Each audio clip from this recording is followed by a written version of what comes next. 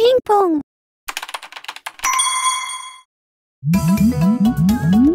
ポケットモンスター略してポンタ略しどころが違う。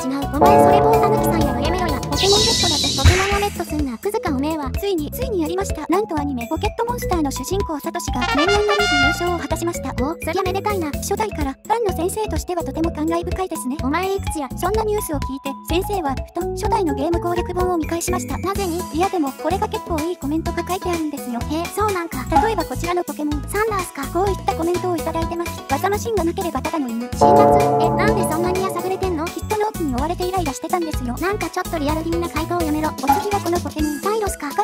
こんな感じですね。虫属性のくせにその攻撃を全然覚えないのは勘弁。えーアスモールちゃんはこんな感じ。これといった取り柄がない。えー辛辣すぎやろ。なんやねんこの攻略本は。ニグロンオス角生えてるので角ドリルが覚えられるかだからなんだという程度。こらこらストライク。覚えられる技がヘボくて話にならない。多い。ブースター。避けた方がいい炎属性の。やめろよー。ええやろ。みんな頑張っとるやさない言うことないやろ。どうですよ。ね。はい。一見落着。なんか腹立つな。ちなみにですがはい。先生は進化するとこうなります。無機物。